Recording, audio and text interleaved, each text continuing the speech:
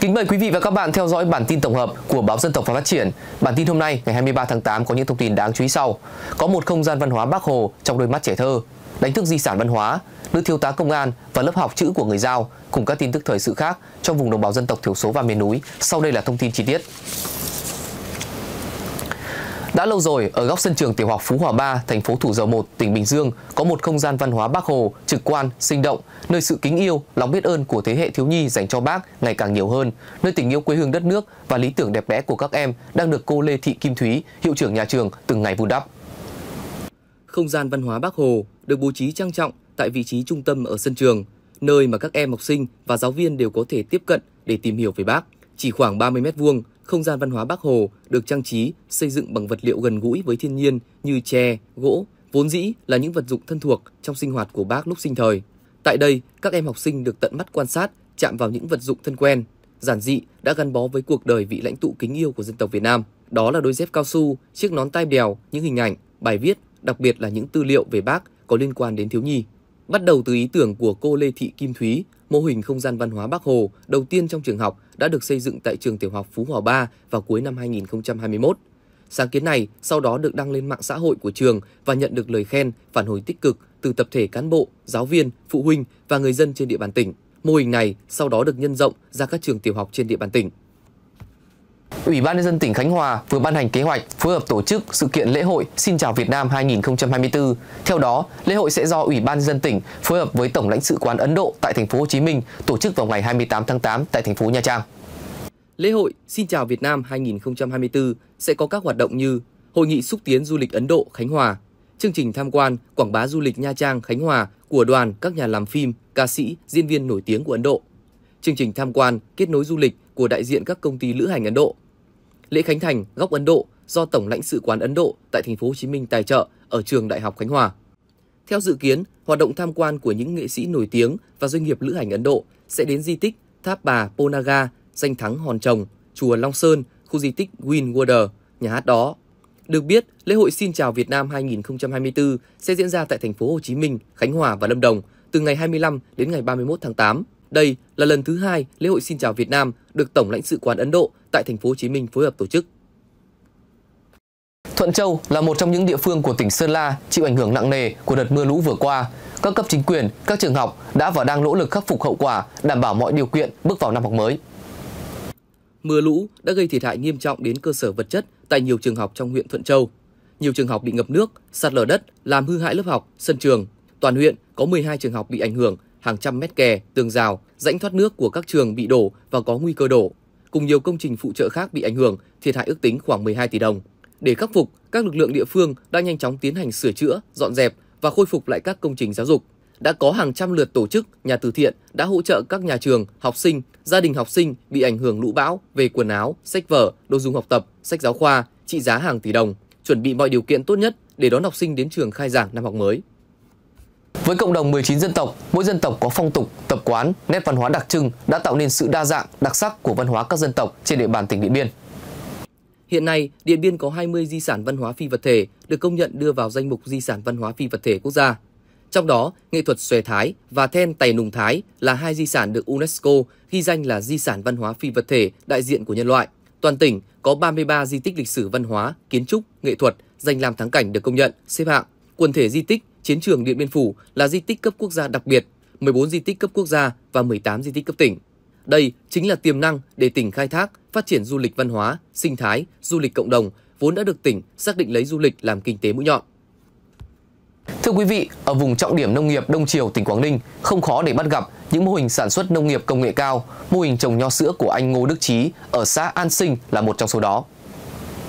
Nho sữa là giống cây chịu lạnh xuất xứ từ Hàn Quốc, Trước đây, nho sữa thuộc nhóm hoa quả nhập ngoại, nhưng giờ có mặt trên đồng đất Đông Triều. Anh Ngô Đức Trí là người mạnh dạn trồng giống cây này. Qua kênh bạn bè giới thiệu, anh Trí nhập giống cây và cải tạo đất theo quy trình của riêng mình để trồng. Từ giải pháp canh tác hiện tại trên, vườn nho rộng 3 xào của anh Trí không chỉ sinh trưởng và phát triển tốt mà còn sai trái, trái to, giòn, ngọt, ngon không kém sản phẩm nho sữa nhập ngoại.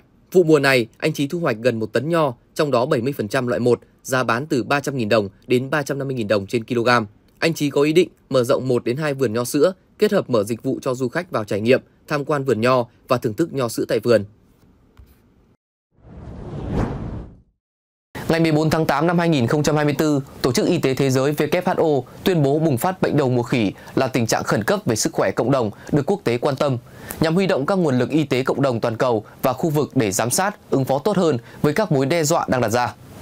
Bệnh đậu mùa khỉ trước đây được coi là bệnh lưu hành đặc hữu ở vùng Trung Phi, nhưng vẫn được xếp vào nhóm bệnh hiếm gặp ở các trường hợp bệnh xuất hiện lẻ tẻ ở người sau khi tiếp xúc với động vật nhiễm bệnh. Bắt đầu từ tháng 9 năm 2022, Việt Nam ghi nhận những trường hợp mắc ca bệnh đậu mùa khỉ đầu tiên thuộc nhánh Clade 1. Từ đó đến nay, cả nước ghi nhận 202 ca bệnh với 8 trường hợp tử vong tại 18 tỉnh, thành phố. Riêng từ đầu năm 2024 đến nay, ghi nhận 67 trường hợp mắc bệnh, 2 tử vong. Tại khu vực phía Nam, trong 2 năm 2023-2024 ghi nhận 200 trường hợp, 8 tử vong, trong đó nhiều nhất là thành phố Hồ Chí Minh 156 ca, Long An 8 ca. Việt Nam đã ghi nhận các ca bệnh đầu mùa khỉ trong thời gian gần đây với xu hướng tăng dần. Tuy nhiên, từ những kinh nghiệm trong phòng chống đại dịch COVID-19, ngành y tế Việt Nam đã có kế hoạch ứng phó với dịch bệnh. Kỳ nghỉ lễ Quốc khánh mùng 2 tháng 9 năm nay được nghỉ 4 ngày nên nhu cầu du lịch của người dân tăng cao. Lợi dụng tâm lý muốn săn vé máy bay và khách sạn giá rẻ của người dân, một số đối tượng thành lập các trang săn vé máy bay giá rẻ không đồng hoặc đặt phòng khách sạn giá rẻ nhằm tạo lòng tin và chiếm đoạt tiền của người dân. Và một số trang mạng xã hội như Facebook, Zalo không hiếm để bắt gặp các trường hợp bị mất tiền oan do đặt vé máy bay và khách sạn của các đơn vị không uy tín. Các đối tượng tạo các tài khoản ảo, các trang ảo để đăng các bài viết về tour du lịch giá rẻ, đặt phòng giá rẻ hoặc đăng bài trong các hội nhóm có nhiều người tham gia. Khi có người liên hệ, các đối tượng yêu cầu chuyển trước 30% đến 50% giá trị combo du lịch để đặt chỗ. Nhưng khi khách chuyển tiền xong, các đối tượng lừa đảo đã chặn thông tin của người mua và chiếm đoạt số tiền đó. Để người dân phòng ngừa và không trở thành nạn nhân của các vụ lừa đảo chiếm đoạt tài sản theo hình thức trên, mỗi người dân hãy nâng cao ý thức cảnh giác khi nhận được lời mời chào mua gói du lịch với mức giá quá rẻ. Đặc biệt, thận trọng khi đơn vị du lịch yêu cầu chuyển đặt cọc để giữ chỗ.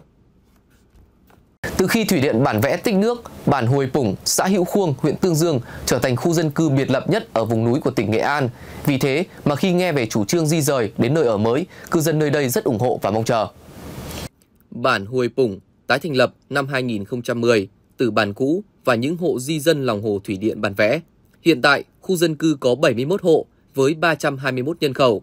Để vào bản Hồi Pủng, từ trung tâm huyện Tương Dương phải đi qua 4 chặng, xuất phát bằng đường bộ đến đập thủy điện bản vẽ, rồi ngồi thuyền vào trung tâm xã Hữu Khuông.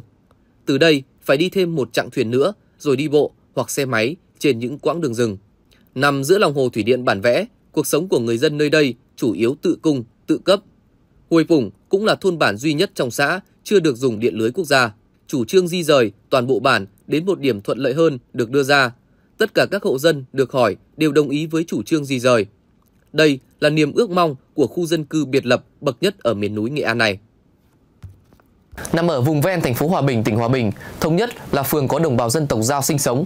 Việc giữ gìn văn hóa truyền thống dân tộc Giao nói chung và ngôn ngữ, chữ viết nói riêng là vấn đề cần thiết được chính quyền địa phương đặc biệt quan tâm. Chuyện về một nữ thiếu tá công an dành nhiều tâm huyết lưu truyền chữ viết của người Giao để lại ấn tượng sâu sắc. Thiếu tá Nguyễn Thị Thu Thủy, Phó trưởng Công an phường Thống Nhất là một nữ công an trẻ nhiệt huyết. Ngay sau khi về địa phương công tác, chị dành nhiều thời gian xuống địa bàn, nắm đặc điểm tình hình dân cư, phong tục, tập quán của người dân địa phương. Chị thấy rằng khu vực tổ 9 có trên 95% đồng bào dân tộc Giao. Trẻ em trong độ tuổi đến trường chiếm khoảng 25% dân số. Hầu hết các em không biết ngôn ngữ, chữ viết dân tộc Giao. Ngay cả một số người lớn cũng không hiểu về văn hóa dân tộc thì làm sao các em nhỏ có thể hiểu được. Đây là vấn đề cấp thiết mà cấp ủy, chính quyền và nhân dân tổ 9 quan tâm. Thiếu tá Nguyễn Thị Thu Thủy chia sẻ, học chữ viết, ngôn ngữ dân tộc sẽ giúp con cháu thấy được cái hay, cái đẹp, biết trân quý giá trị truyền thống của dân tộc. Từ đó, nỗ lực cố gắng, tu dưỡng, rèn luyện, sống có lý tưởng, hoài bão, trở thành người có ích cho xã hội.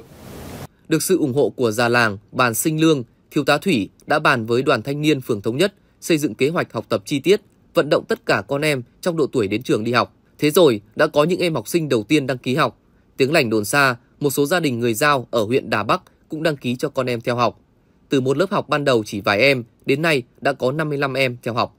Cứ như vậy, chỉ sau thời gian ngắn, các em dần nắm được những nội dung cơ bản của chữ viết và ngôn ngữ dân tộc Giao. Các em có thể sử dụng chữ viết, tiếng nói dân tộc mình trong đời sống hàng ngày. Đó là nền tảng, hành trang để các em hướng tới tương lai trở thành công dân có ích cho xã hội. Câu chuyện và hình ảnh về nữ thiếu tá công an và lớp học chữ của người Giao ở thành phố Hòa Bình, tỉnh Hòa Bình đã kết thúc bản tin ngày hôm nay. Quý vị và các bạn có thể xem lại trên kênh YouTube, website, TikTok và trang fanpage của báo Dân tộc và Phát triển. Còn bây giờ, xin chào tạm biệt quý vị và các bạn.